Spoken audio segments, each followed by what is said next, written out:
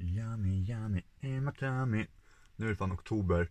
Och då, då har de börjat sälja julprylar på affären. And it makes me so goddamn happy dude. Oh my god. Vad gott det är. Köp de här. Fan ballerina julstjärnor.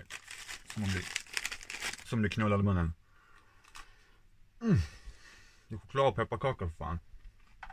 Och vet du vad som gör mig ännu mer glad?